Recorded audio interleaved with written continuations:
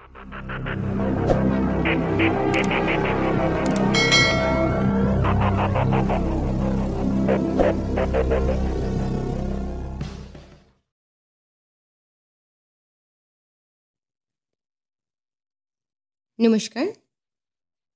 গল্পান্বেষী নীলিমায় আপনাদের সকলকে স্বাগত।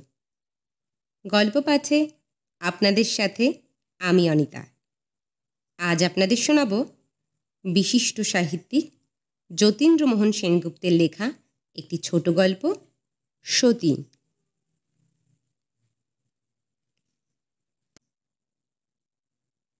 তিন দিন হয়, পূজার ছুটিতে শরৎ বাড়ি আসিয়াছে। সুকুমারী এতদিন পথ চাহিয়া বসিয়াছিল। সে যতটুকু চাহিয়াছিল, স্বামীর কাছে আজ তার চেয়ে ঢের বেশি আদর পাইয়াছে। তাই তাহার রমণী হৃদয়খানি অকুণ্ঠিত তৃপ্তির মধ্যে গৌরবান্বিত হইয়া উঠিয়াছে।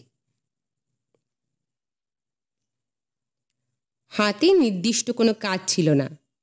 সকালে ডাক আসে। শরৎ পোস্ট অফিসে চিঠি আনিতে যায়। দুপুরবেলাটা খুঁটিনাটি লইয়া কাটায়। কোনো দিন বা একখানা নোভেল লইয়া একটু পড়ে বইকালে পাড়ার এ বাড়ি ও বাড়ি বেড়ায়। সমস্ত দিনটাই রাত্রির অপেক্ষায় কাটিয়া যায়। রাত্রি যখন আসে, তখন তাহার জন্য প্রীতি ও তৃপ্তি লইয়া আসে। ষোড়শী সুকুমারী সে প্রীতির উৎস। তাহার অকুণ্ঠ প্রেমী সে তৃপ্তির মূল। দুপুর, হাতে কোনো কাজ নাই। নোভেল পড়া শেষ হইয়া গিয়াছে। হাতের কাছে শরৎ সুকুমারীর ক্যাশ বাক্সের চাবিটা পাইল। বাক্স খুলিবা মাত্র, একটা সুমিষ্ট গন্ধে সমস্ত ঘরটা পরিপূর্ণ হইয়া গেল। যেন সুকুমারীর অমূর্ত প্রেমটুকু গায়ে এসেন্স মাখিয়া শরতের চারিপাশে ঘুরিয়া বেড়াইতে লাগিল। ছোট বাক্সটি, ঢের জিনিস তার মধ্যে। একটা ছোট শ্বেত পাথরের বাক্স, কয়েকটা সুদৃশ্য করি একছাড়া শুকনো বকুল ফুলের মালা, একটা গন্ধরাজ ফুল, কুর্সির কাটা আরও কত কি, আর কতগুলো চিঠি। সবগুলো কেমন সুন্দর সাজানো গুছানো। শরৎ সুকুমারীকে কলিকাতা থাকিতে যে চিঠিগুলি লিখিয়াছে, সেগুলি একটা সবুজ রেশমি ফিতা দিয়া বাধা। প্রত্যেকখানিতে নম্বর দেওয়া। আষাঢ় হইতে পূজার ছুটি পর্যন্ত। সাতচল্লিশখানি শরৎ গুনিয়া দেখিল। একখানি টানিয়া লইয়া একটু পড়িল।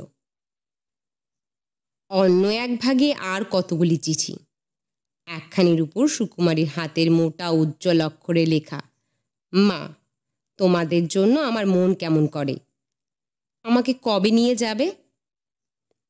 শরৎ পড়িয়া ভাবিল সুকুমারীকে সঙ্গে করিয়া ছুটিতে একবার শ্বশুরবাড়ি বেড়াইয়া আসিবে। পাশে আরও কতগুলি চিঠি, সেগুলি ভালো করিয়া গুছানো নয়। শরৎ টানিয়া লইয়া একখানি চিঠি পড়িল, আর একখানা পড়িল, তারপর আরও একখানা। চিঠি পড়িয়া তাহার মাথা ঘুরিতে লাগিল। দৃষ্টির সম্মুখে একখানি কালো জবনিকা কে যেন টানিয়া দিল। সমস্ত ঘরটা, খাট, চেয়ার, টেবিলগুলি তাহাকে কেন্দ্র করিয়া তাহারই চারিপার্শ্বে ঘুরিতে লাগিল। একটু প্রকৃতস্থ হইয়া শরৎ চিঠির তারার মধ্য হইতে আট নয়খানি চিঠি বাহির করিয়া লইয়া বাক্স চাবি বন্ধ করিল। শোনা যায়, মাটি খুঁড়িতে যাইয়া সাপ বাহির হইয়া অনেককে কামড়াইয়াছে। তুচ্ছ খুঁটিনাটি করিতে যাইয়া শরৎ এমনি একটা দুষ্টু সর্প বাহির করিয়া বসিল, যাহা তাহাকে দংশন করিয়া তীব্র হলাহল ঢালিয়া দিল। যাতনার তীব্রতায় শরৎ ভাবিল, সমস্ত বিশ্ব সংসারটা বুঝি দানবের সৃষ্টি। এখানে একনিষ্ঠ প্রেম নাই, বিশ্বাস নাই, আছে শুধু প্রতারণা। আর বিশ্বাসঘাতকতা। বিশ্বাস করিয়া যে শাখা ধরিবে, তাহাই ভাঙিয়া যাইবে। মানুষগুলি সবাই মুখোশ পড়িয়া আছে, কাহাকেও চেনা যায় না। শরৎ ঘর হইতে বাহির হইয়া আসিল। সমস্ত প্রকৃতি আজ তাহার চক্ষে অসুন্দর, অকরুণ। সুকুমারীর বিড়ালটা লেজ উঁচু করিয়া তাহার পায়ে গা ঘষিয়া ঘুরিতে লাগিল। শরৎ বিরক্ত হইল। বিড়ালটার কোমর স্পর্শ যেন তাহার গায়ে কাটার মতো বিধিল।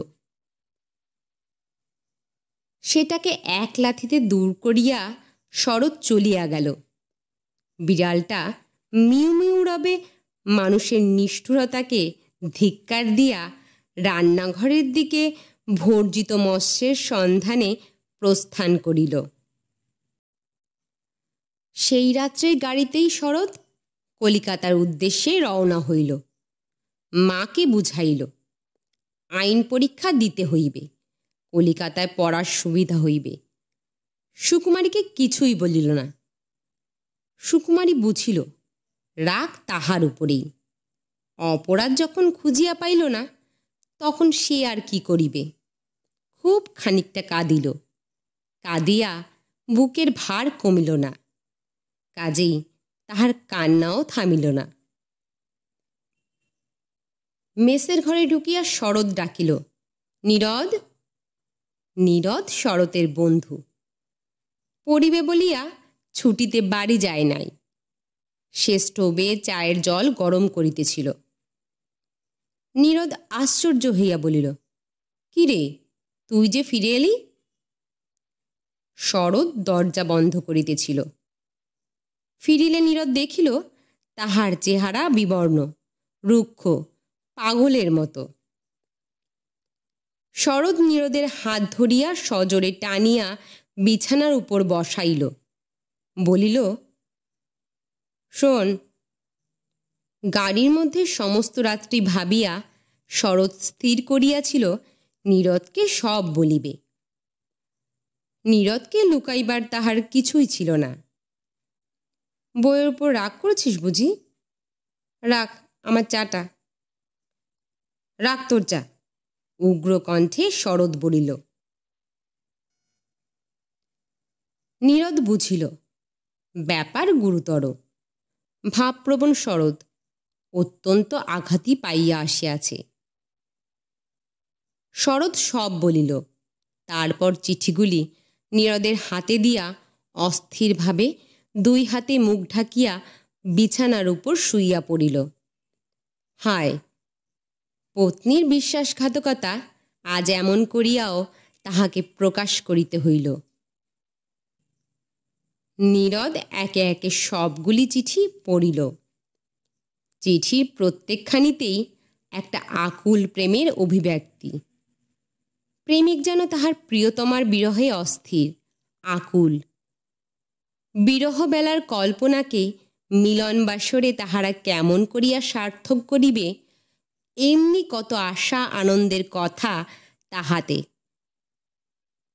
প্রেমাধিষ্ঠিতাকে ঘিরিয়া একটা সুমধুর প্রেম গুঞ্জন গীতি মুখরিত হইয়া উঠিয়াছে। কিন্তু এতটুকু মলিনতা অপবিত্রতা তাহার কোথাও নাই। নীরদের মুখে একটু হাসি ফুটিয়া উঠিতেছিল। তুই একটা মস্ত গাধা, বলিয়া সে চিঠিগুলি শরতের গায়ের উপর ফেলিয়া দিল। কীরকম? বিস্মিত শরৎ বলিল,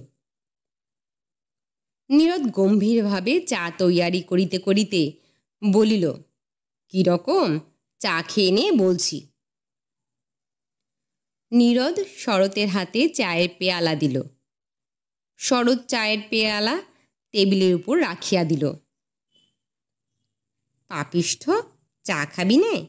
আত্মহত্যা করবি? না, দেশত্যাগী হয়ে সন্ন্যাসী হবি? আর তারপর দিন ইংলিশম্যান বড় বড় অক্ষরে সংবাদ দেবে। A graduate sannyas in the Punjab Mail. ওরে গাধা বউ যে চিন্তিত হবেন। শরৎ এ হাসি তামাশার কোনো অর্থ বুঝিতে পারিল না। চুপ করিয়া নীরদের মুখের দিকে চাহিয়া রহিল।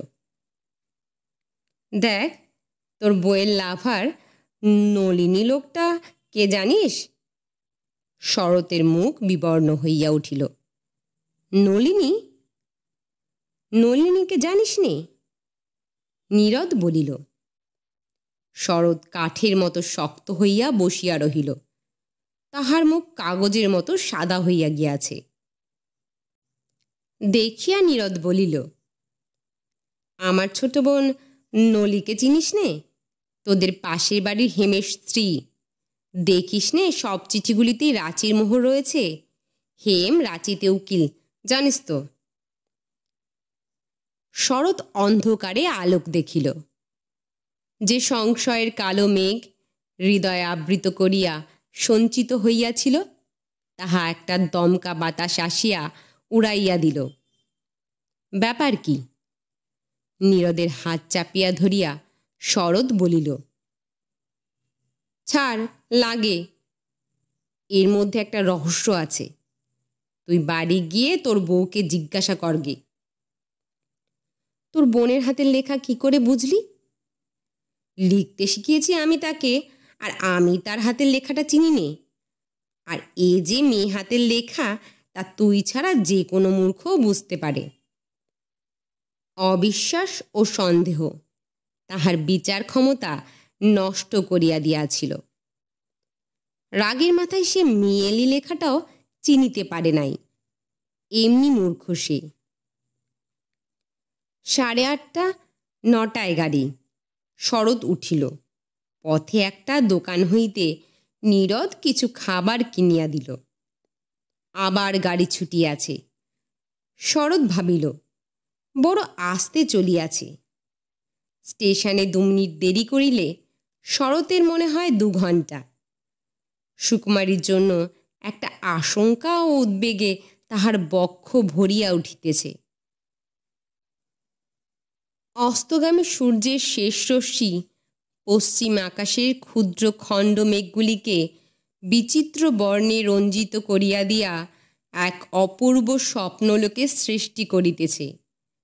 শরৎ তাহার শয়নকক্ষে প্রবেশ করিয়া দেখিল, মেঝের উপর আঁচল বিছাইয়া সুকুমারী শুইয়া রহিয়াছে। কম্পিত কণ্ঠে শরৎ ডাকিল, সুকু সুকুমারী শরতের মুখের দিকে শূন্য দৃষ্টিতে চাহিল। তারপর তাহার অশ্রুসিক্ত দুই চক্ষু শরতের কাছে মৌন ভাষায় হৃদয়ের সমস্ত বেদনা নিবেদন করিয়া দিল। অপরাধী শরৎ সান্ত্বনা দিতে আসিয়া ভাষা খুঁজিয়া পাইল না। এমনি নিরুপায় সে। কিন্তু উভয় পক্ষের আকাঙ্ক্ষিত মিলন। ভাষার দীনতার জন্য বাঁধিয়া থাকে না। সুতরাং শরতের কুণ্ঠা ও ভাষার অপটুতা সত্ত্বেও সঞ্চিত মেঘরাশি সুকুমারী অশ্রু সজল হাস্যদীপ্তিতে গলিয়া ভাসিয়া বিলীন হইয়া গেল। কথাবার্তার মধ্যে কৌশলে শরৎ কহিল, নলিনীর চিঠি পেয়ে থাকো সু। সুকুমারীর মুখ উজ্জ্বল হইয়া উঠিল। হাসিতে হাসিতে সে বলিল সে এক ভারী মজা। নলিনী যে তোমার সতীন। একটু শুষ্ক হাসি হাসিয়া শরৎ বলিল রকম? শরতের ভুল তাহাকে বৃষ্টিকে ন্যায় দংশন করিতেছিল। তা বুঝি জানো না, সে যে আমার প্রিয়তম, আর আমি তার প্রিয়তমা। সেই সম্পর্ক পাতিয়েছি আমরা। সে যে চিঠি লেখে আমার কাছে, তা দেখলে তুমি বলবে যে আমার একটি প্রেমিক জুটেছে। তারপর হাস্য কৌতুকের মধ্যে শরৎ তাহার সতীনের অনেকগুলি প্রেমপত্র পড়িয়া ফেলিল। যে দুষ্টু সর্প শরৎকে দংশন করিয়া বিকৃত রূপ ও তীব্র যাতনা দিয়াছিল, আজ সেই তাহাকে দিব্যকান্তি ও প্রীতি প্রদান করিয়া নল রাজার ন্যায় অভিনন্দিত করিল। আপনারা এতক্ষণ শুনছিলেন যতীন্দ্রমোহন সেনগুপ্তের লেখা গল্প সতীন। গল্পটি আপনাদের কেমন লাগল তা অবশ্যই জানাবেন। ভালো লাগলে লাইক করবেন এবং আপনার পরিচিত বন্ধুবান্ধব, আত্মীয় স্বজন যারা গল্প শুনতে ভালোবাসেন তাদের সাথে শেয়ার করবেন। যারা এখনও চ্যানেলটি সাবস্ক্রাইব করেননি তারা অবশ্যই সাবস্ক্রাইব করবেন। তাহলে আজ এই পর্যন্তই। খুব শীঘ্রই নতুন কোনো গল্প নিয়ে হাজির হব। ততক্ষণ ভালো থাকবেন, সুস্থ থাকবেন আর শুনতে থাকবেন গল্পান্বেষী নীলিমা। ধন্যবাদ।